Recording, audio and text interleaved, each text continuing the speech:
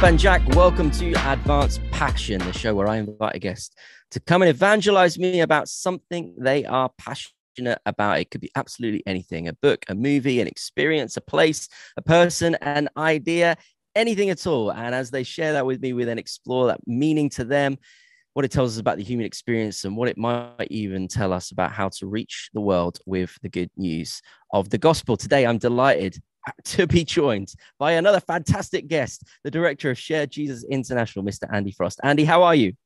Hey, I'm good, mate. I'm presently in South London and it's freezing cold today, but hey, but the uh, sky is clear.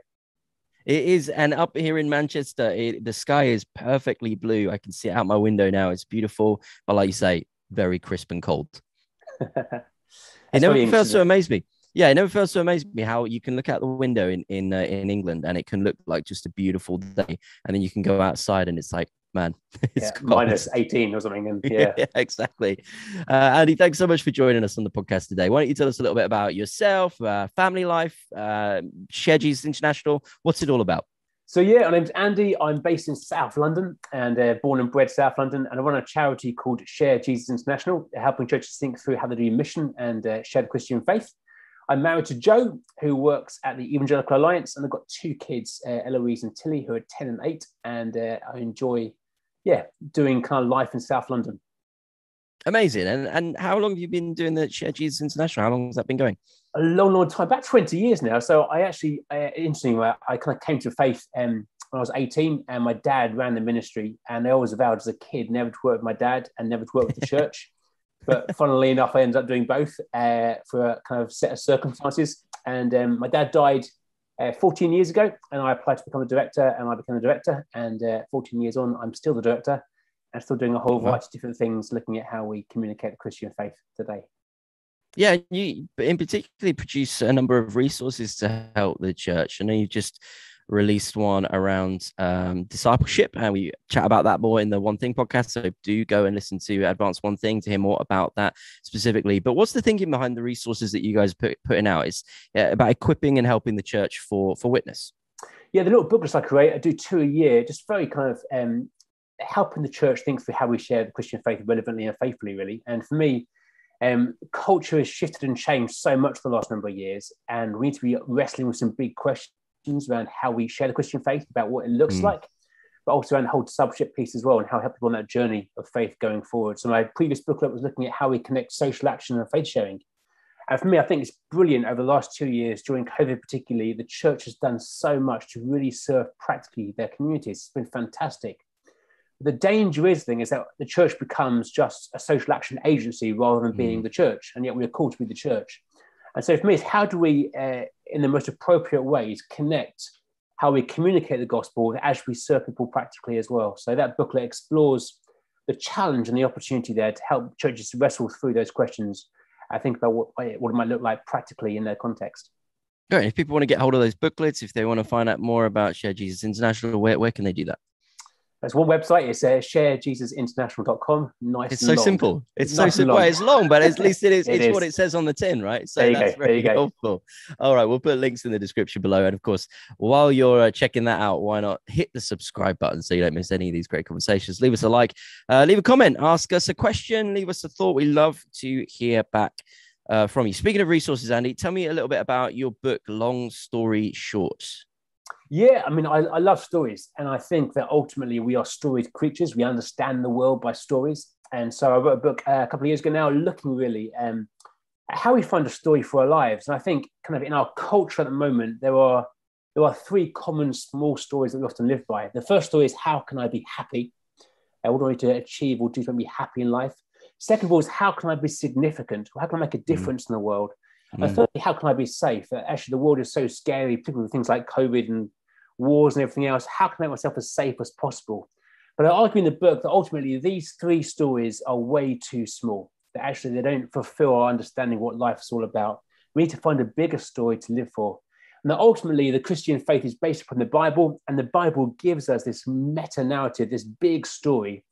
And that helps us ultimately discover what it is to have joy and the idea of happiness, the idea of significance in God's story, but also a safety that actually we know that God is with us and God is for us. No matter what we face in life, we can have this promise from Him. So it explores those three small stories and this big story?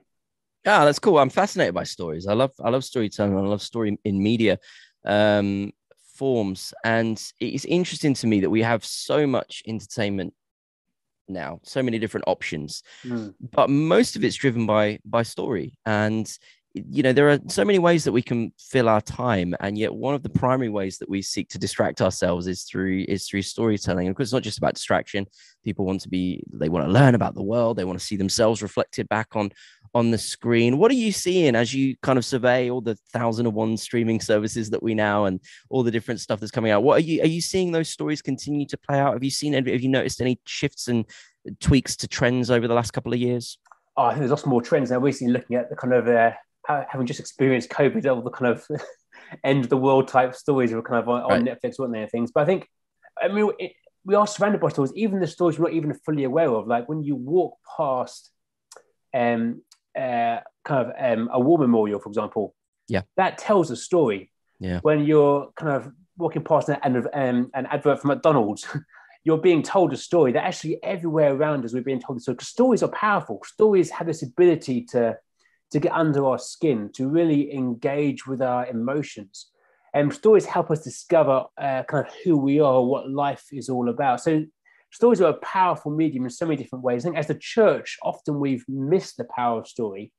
And yet ultimately, Jesus was a storyteller. He did many different mm. things, but he was also a storyteller. And uh, and he told these stories that would captivate crowds and would really challenge the injustice of the day and present the kingdom of God and for me, I think we need to rediscover the power of story, but also ultimately mm. how our lives tell a story.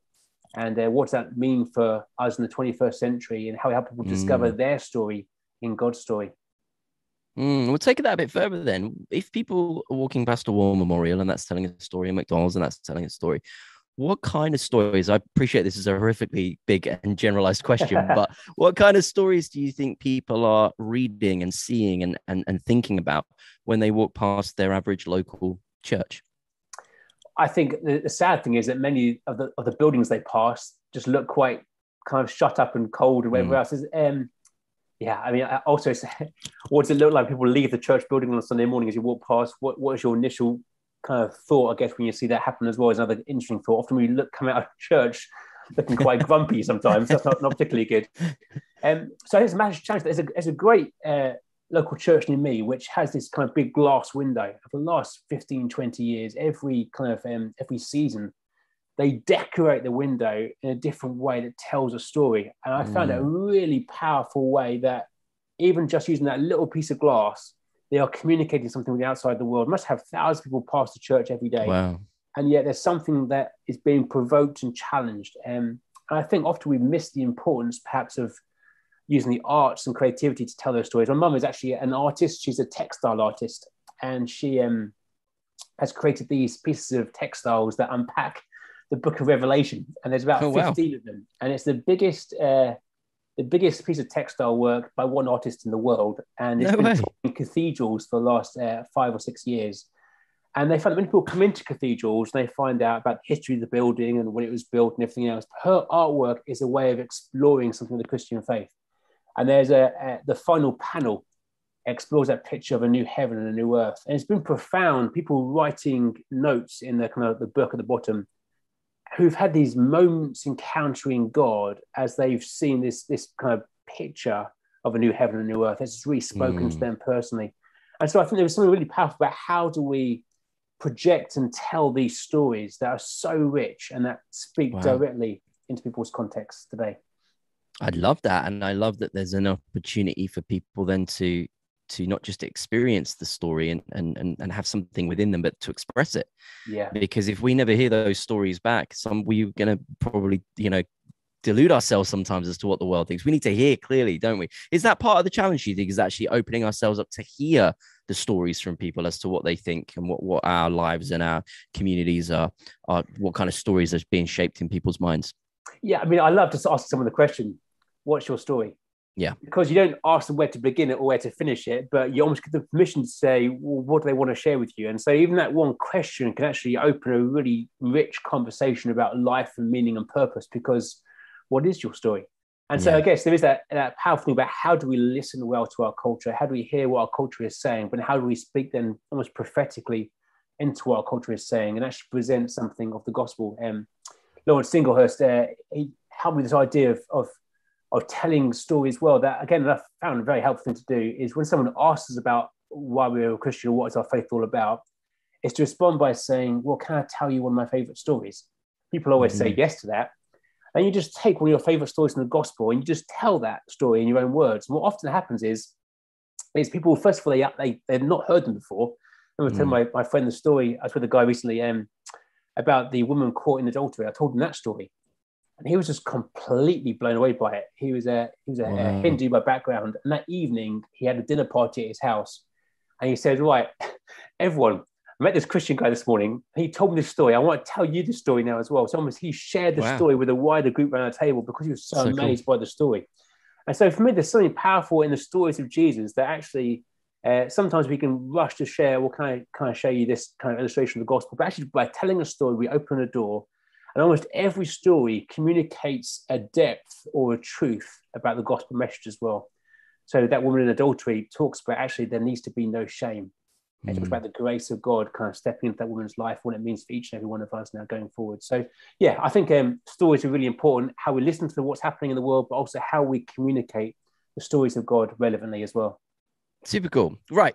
This show is called Advance Passion, so we should get stuck into what your passion actually is. Uh, I want to hear about it. I want to be evangelized about it, and then I want to see where we go from there. So, Andy, what is your passion? What am I learning about today? So I think you've heard about kind of traveling previously, but I'm into adventure traveling. Okay. I love new places, new experiences, and going on an adventure. Okay. So how would you separate? Uh, the, what's the difference between you know, okay, I'm going on holiday for a week to a nice place. That's a bit of an adventure from what I think you're talking about, which is the next step up of, of adventure, intentional adventure. I mean, adventure is often uh, defined as being exciting or daring experiences. So for me, okay. it's not about something safe. So okay. what, I, what I don't like a holiday, I don't like, well, I like it for a day, but I don't like kind of staying in a nice hotel by a pool, just relaxing. I'm not into that at all. My wife, on the other hand, enjoys that. So it's a bit of a kind of bit of a conflict there. yeah. But I like doing stuff that pushes me out of my comfort zone, that scares me, that gives me a new experience. And so for me, that is what adventure is really. It's um it's taking myself out of the normal and the ordinary and giving myself something else to experience. Yeah, give me give me some examples. What what adventures have you had that you're particularly uh, um, thankful for and excited about? So with my one of my, my uh, best mates, Rich Ellington, um, we've been on a few adventures together. We've actually made some videos which are presently offline, but hoping will come online again soon.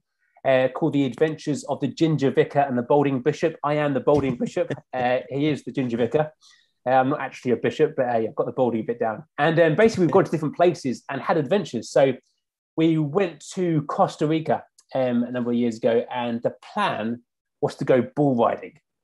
Now, oh. I've always seen it, you know, on, on TV, and I thought, wouldn't that be cool to go and do? So we had this kind of very traumatic experience getting to Costa Rica. We were there for a different um, thing at the same time. So we were kind of there doing ministry, but we thought on the back end of this trip, we'll try and bull ride had it all lined up a couple of times. Both times it fell through at the last minute. And apparently, you can't bull ride when it's wet. So I discovered that oh. a new kind of thing to discover. And so uh, that didn't work out, and we thought it was going to be a complete failure. But instead, we joined a circus. So there you go. That was my adventure in Costa Rica.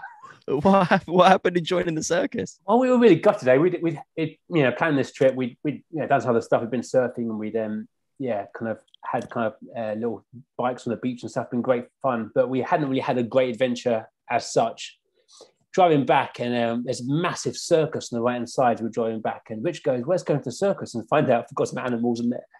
So we pulled off, and and Rich kind of um, yeah knocked on the guy's door and said, "Hi there, um, we're, we're from the UK. We're we're making a video. Um, do you have any lions we could try and ride or something like that? And the guy was like, no, no, no, we're not into the animal stuff. That's not what we do here. You know, that's kind of cool. Um, we have got other stuff you can do. And we're like, okay, cool. So we went inside this venue and uh, basically had something called uh, the pendulum of, of doom and the uh, and the globe of death. So the pendulum of doom is where basically it's got those two circles. You know, you've seen before in the circus where you kind of walk around the bottom one, the whole thing. Oh, it moves around. So, um, not speaking any Spanish, this guy agrees to let us let us have a go. So we had to go on that, and there's no no crash mats, no safety nets, anything else at all. It was absolutely so scary. And then he lets us go in this globe, which is one of those kind of metal globes where you get in a motorbike and you try and drive oh, yeah. around the globe. Yeah. I can't ride a motorbike. I mean, that's the first me. thing. Yeah, exactly, exactly. Uh, not really the best place to learn, really. And then, uh, but then Rich messed it up as well, so it wasn't too bad. But the idea of of looking for adventure, looking for new experiences in different places has been what we do. Uh, done a whole variety of things, including um, wing walking and uh, all, all kinds of stuff. So, where does this sense of adventure come from then? I think for me, um, I've always liked to push my limits. So I um, uh, I do a lot of stuff physically as well. So I did my first 10k mm-hmm. swim um, last year, and I swam uh, and I did a 105 mile run a couple of years ago as well. So oh, wow. Um, wow, always looking to to push how far I can go, the limits of my fears. Really, um, I've always been passionate about surfing as well. I've always been pushing into bigger and bigger waves, and so for me, it's always been a sense of I want to push the boundaries of things and see how far I can go.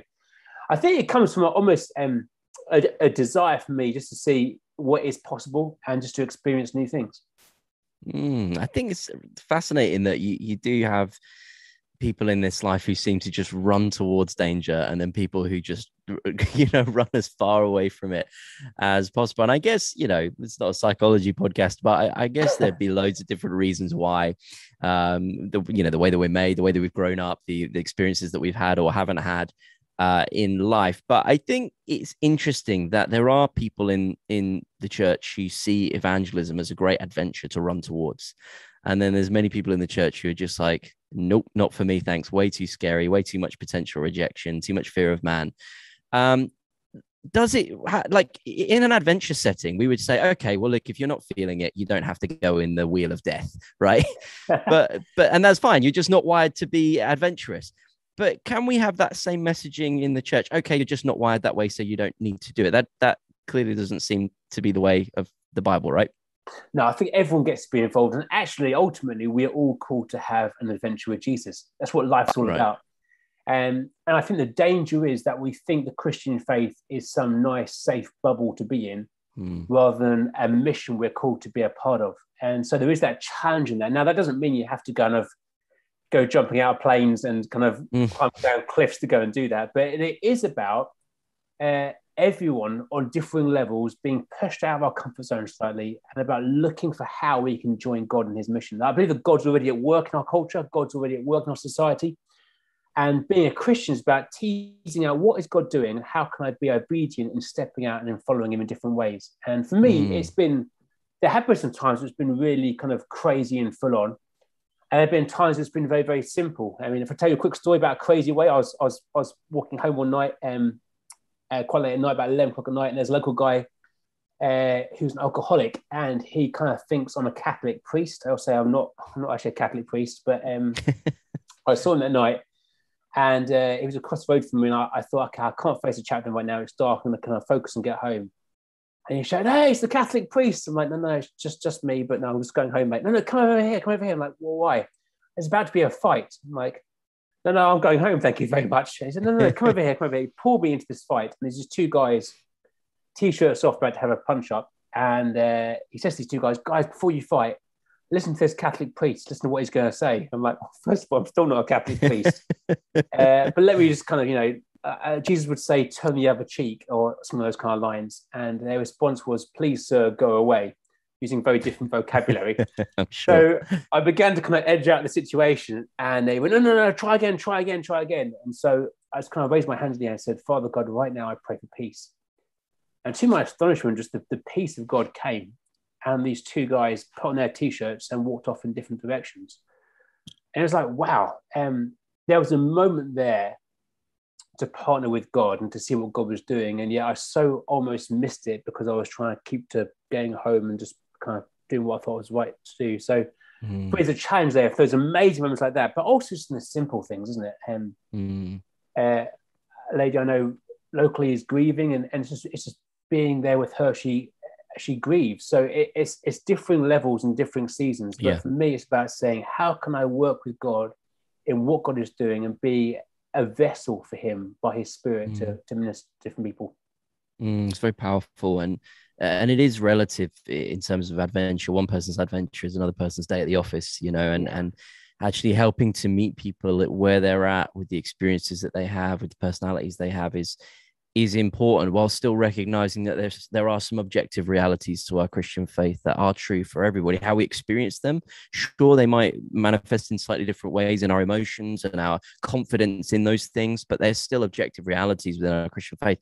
So, how do we help the church journey towards a greater sense of, of adventure? I think, first of all, it's about reminding ourselves that the story in scripture that we are not at the very end yet. We're in this season where Jesus has come, his life, his death, uh, his resurrection, and then his commissioning his disciples. We are part of this commissioning. But that ultimately we know how the story ends. We know there'll be a new heaven and new earth, that picture of just how things will end. And we live in this season now where God is at work in our world and we get to partner with Him. So I think, first of all, it's about reminding ourselves that um, we are part of what God is doing, we are part of God's mm. story.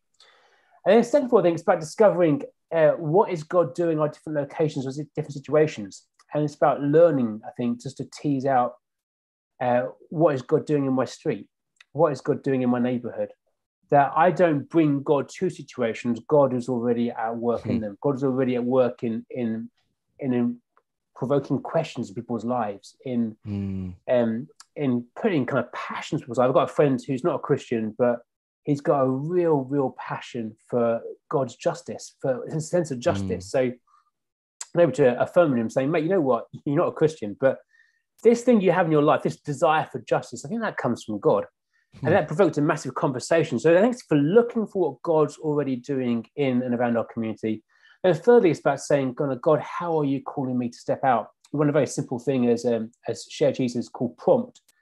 And the idea is a, it's a question a week to look at and then to reflect upon and to ask God, and then to see how God might help you answer that question. So it could be um, who needs to hear a story from the Bible this week. It could be who can I offer to pray for this week. It could be um, uh, who can I invite around for a meal this week? So simple questions that almost provoke us into thinking, I want to look around the world missionally and see what I can do to be a part of what God's doing. Um, I like, uh, I actually hate uh, seeing 3D films. Okay. Um, you know, the whole kind of, I, I'm not into the glasses and things. I went to a yeah, yeah, yeah. thing last year where you have the, the spraying water and the, mm-hmm. not my thing at all, really. Um, but it's amazing that when you're watching a 3D film, how you put on the 3D glasses and suddenly the movie kind of comes to life and almost in a way we need to almost wear almost God spectacles that almost we we choose to see the world through God's eyes and just see what God's doing and see how we can minister in different situations. And part of that, I think, is about slowing down our own busyness. It's about almost praying for our street, praying for our community more regularly, and just looking for how we can respond to what God is doing. Mm-hmm. Yeah, it's powerful. The I remember hearing a, a, simplified, and it's a little bit too simplistic, but a simplified definition of evangelism as being joining in with what the Holy Spirit's already doing in a person's life, mm. and it is going. A lot. We we do so often think that it's us that's going to take God there, and it's like no, God's just kind of saying, "Come on, come and join yeah. in with what I'm already doing," um, and I think that focus on partnership is really important because there's a lot of things in life that might seem like an adventure, they might seem like um, a dangerous thing to do or a scary thing to do that we are more inclined to do when we when we do them with some someone else. And it's amazing how if you have a scary hospital appointment or something often people want to take someone with them. They can't that person can't even come in to the doctor's you know the actual room with them but at least they're in they know they're in the waiting room. And it's that moral support that emotional support pastoral support for a believer a spiritual support. But again, I think if we can help the church to journey in the direction of a better understanding of um, outreach, mission, journeying with Jesus in genuine partnership, first with Him mm. and then with each other, we would be able to see a lot of uh, a lot of gains in that way. So good. So when I do my adventures with Rich, um, we both push each other the whole time, and if we weren't mm. by each other's side, probably wouldn't yeah, do would things do in the same way. But yeah. um, yes, you know, no one's going to know if I don't do this. But because he's well, there's a fine line between there's a fine line between uh, encouragement and peer pressure, right? there is, there is. There's definitely falls perhaps more into peer pressure than encouragement. But, um, yeah. But I think you're completely right. And what's what I love about um, advance and what you're trying to do, it's about it's help people to get, become part of a community and, and, sharing our faith. And I guess mm. for me, it's also it's about saying who yeah who am i doing this with and who is praying for me and who's got my back and when things go wrong Mm. Who can I mm. share those things with? And when things go right, who can I celebrate with? And I think um, creating space for that is really important. And I, I think for me, when I've been mentored and mentoring other people, having that person to be alongside has been so helpful because when I get a really difficult question that I can't answer, or when someone's going something I don't know how can God can speak into this, it gives me a space to really unpack what I'm discovering, unpack what I'm learning, but also it has somebody else speak into my context too. And I love mm. it that Jesus sends out the 72 in pairs, not by themselves, but in pairs. Yeah. He saw the importance of doing that. And I think um, in many different ways, when we're working alongside somebody, we have that space to share our experience, it's a much richer thing, but it also allows us to process uh, what is working and what isn't working when it comes to sharing our faith. Mm. If I go on a, on a crazy adventure experience of bungee jumping or jumping out of a plane or something there's there's the necessary risk management that takes place. There's be risk hopefully there'll be risk assessments done. They'll you know they're checking the they're checking the cords they're checking the clasps they're double checking the reserve parachute all of that all of that stuff. Um, and that's good. And although we want a, a crazy experience we also want to know that the right level of risk management has been done. Enough to keep me as safe as I can be, but not so much that it will dampen down and ruin the experience. What role do you think risk management and how appropriate is is kind of risk management in our in our faith walk? Well, I think first of all there is always going to be risk, and I think mm. perhaps sometimes we downplay the risk. And mm. I think right now, uh, yeah, there's certain parts of the world where people are being killed for their faith, mm. and when they sign to become a Christian, they know that is the risk. They know that ultimately they are surrendering their life to, for, for me to, to live as uh, Christ, to die as gain. That whole kind of concept becoming so real in people's lives. So was always a risk, mm-hmm. and and I guess uh, partly perhaps it's about verbalizing what the risks are. So with my kids' scale of things, I talk through okay, if this goes horribly wrong, what could happen? Mm-hmm. And then what could happen? And then what could happen? And almost just talking through that process and then fully aware of the implications. So I did the world's biggest bungee jump a couple of years ago, and uh, I didn't want to do it at all. I had no desire to do it, but Richard got me to do it, so I, I agreed to do it. And um, but again, just thinking through, okay, if this goes wrong, or if this goes well, what can happen? And and just kind of yeah. And so when it comes to sharing off anything, often we don't do that. We don't think, uh, well, what is the risk? If this competition goes really badly, what will this mean for this relationship, this friendship? And but going through the worst case scenario and working out, okay, working that backwards, what can we do to make sure it doesn't happen, or what can we do to, to make sure it goes as well as we can do, is a really helpful process. And I think ultimately, when we're sharing our faith, we are driven by love, mm. and we're not meant to be kind of super confrontational. We're meant to be just sharing what God's done in our life, and then sharing that story with other people. I find again really helpful um, with conversations just to know when to stop.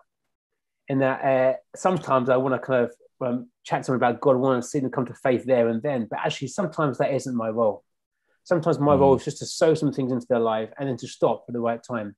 I love the idea of being kind of almost Holy Spirit aware. So when do we push things and when do we stop? When do we pull back? And um, when somebody stops asking questions, if we keep speaking, then we've gone too far. But almost we're allowing mm. them to, to, to almost navigate the conversation forwards is a really important thing. But all those things are risk, I think. And when people know we're a Christian at work, that can mean challenges. People know we're a Christian mm-hmm. at school, that can mean challenges. And we can be judged, and people can turn their back on us, and that does happen sometimes. And um, I think I've, I've experienced in my own life just people who they find out what I'm about. Oh, actually, I'm not sure I want to hang out with you quite as much mm, as I did sure. before. Um, there is that risk. I'm glad you mentioned motivation and the motivation uh, being love, because again, in the same way that having someone with us through a situation can help to spur us on, the motivation can affect our ability to to go to the next level. You know, if our motivation is um, something trivial, we're less likely to go the extra mile. If our motivation is, you know, love or or or, or necessity or need, you know, whatever it might be, it might drive us further. How do we help the church to continually remember that our evangelism motivation is not because we've been told to do something, but it's out of our love for God who first loved us. Yeah, I think that's a really important point. And I think, particularly in, in church, you can think, well, how do I grow my church? How to get more people into my mm. church? Mm. And that whole mentality can be really dangerous. That, but ultimately, it is driven by love. And I think first and foremost, um, we have to be having time alone with God. I, I, have written a little resource looking at habits and the habits we create that we can have all kind of habits about sharing our faith, but if ultimately we're not almost receiving from God first of all, that's kind of really dangerous place to be in because we can become very mechanistic or uh, trying to kind of communicate things. But actually, first and foremost, we've got to be in a place with God. We're allowing God to remind us again of His love for us and uh, reminding again of who He is and who we are called to be first and foremost. Um, I, I, I think also experienced in my life there have been different seasons, and it's working out in this season. How do you connect well with God? Um, when I had two very young kids, they weren't sleeping at all. It was a complete nightmare, and uh, we found it really hard even time with God because I used to enjoy those quiet mornings of you know the, the light kind of coming through the window and just gradually opening mm-hmm. the bible and having a nice reflective time in bed but then my kids were jumping on me like you know at five in the morning it's like there's no quiet time now it's just like noise um, but we kind of got a chair put in our lounge uh, and it almost become like a, a, prayer chair for us we could just sit in that chair and just that season i found it really hard to connect with god but it was creating ways so for me just sat in that chair for at least five to eight minutes just being still being quiet and saying god kind of remind, can be reminded again just of your love for me. So I think mm. love is a really important thing. How we create habits that will serve us in reminding us again of that. And then I think ultimately that that God's uh, God wants the best for other people, and um, He's got their best interests at heart. He's got our best interests at heart. And for me, then as we're sharing our faith, um, love has to be the motivation. Love has to be the guide.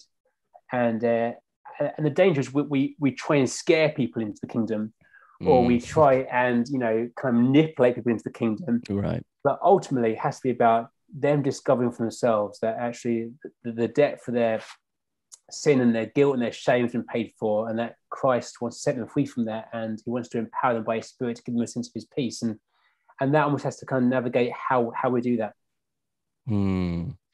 as we um kind of head towards the end of, of the show this week, it'd be good, I think, to just draw it full circle around. We started talking about story. We've headed into adventure and the adventure of following Jesus and and uh, sharing Jesus with the world. Um, we talked a little bit about how crucial story is to to to sharing faith and to talking to people, making connection points to people's lives and those things what's the role of story in stirring the church to adventure and also sustaining the church in the adventure when it's getting a bit wobbly about whether the adventure is really worth it?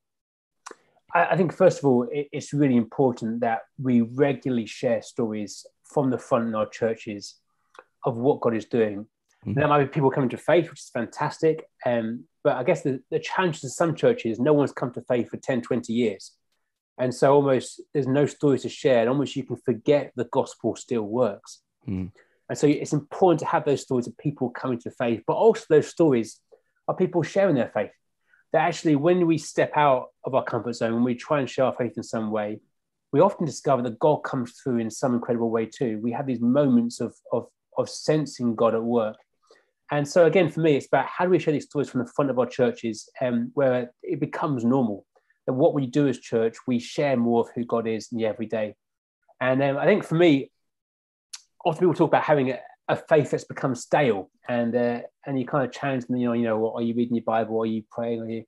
But actually, are you sharing your faith?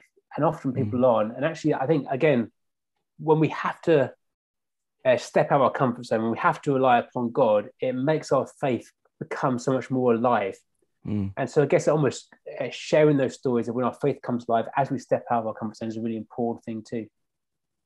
Mm, thanks so much, Andy. Thanks for joining us on the show this week, giving us all your wisdom and insight, and maybe even stirring a few people to do a bungee jump as well along the way. Who knows? Who knows? or ride a bull or something crazy like that. Uh, maybe we'll get you on again, and next time we'll have you uh, doing this at the same time as riding a bull. Uh, Sounds good, where, yeah, why not? Right? Let's take to the next level. Um, do you connect with uh, Andy through uh, sharejesusinternational.com and uh, find his resources. Also, we didn't talk about um, very relevant to this podcast the resource that you wrote for for uh, dads and their kids, right? About having adventures together. Oh, hold up, my here, my here. There you go. There it is. There you go. Yeah. What's so? Talk us through this one. Uh, 52 faith adventures for dads and their kids. Uh, it's the idea really yeah. that as a dad, um, I want my kids to know Jesus, and uh, I think what's happened over the last number of years is sometimes we church kids work has come on so well that often we can think that our my kid's faith is is the church's role than my mm. role as a parent. And so really, mm. this book is about looking at how we can be play a role as parents. That ultimately, ultimately, we are the the kind of key figures for our kids in exploring faith. And it's really about creating some memories for your kids. So doing some fun stuff, yeah, cool. doing adventures. So it's kind of climbing trees and making dens and making fires and stuff in the house as well. Things that you can do adventures, but all of them have with them a story and a prayer to link with them. So the idea of, of creating cool. these kind of key memories around adventure, but at the same time sharing more of the Christian faith with your kids in a fun way. Great stuff, Andy. Thanks so much for joining us uh, today. Thank you all for tuning in. Don't forget, hit that subscribe button so you don't miss any of these great conversations. Give us a little like, leave a comment below, and we will catch you next time.